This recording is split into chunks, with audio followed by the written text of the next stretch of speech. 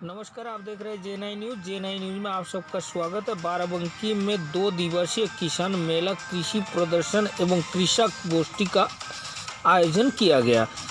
राष्ट्रीय कृषि विकास योजना अंतर्गत बाराबंकी के तहसील हैदरगढ़ में कृषि विज्ञान केंद्रों में डॉक्टर एस के सिंह के सौजन्य से दो दिवसीय कृषि मेला, कृषि प्रदर्शनी एवं कृषक गोष्ठी का आयोजन किया गया। आइए देखते हैं शेर बहादुर का एक रिपोर्ट।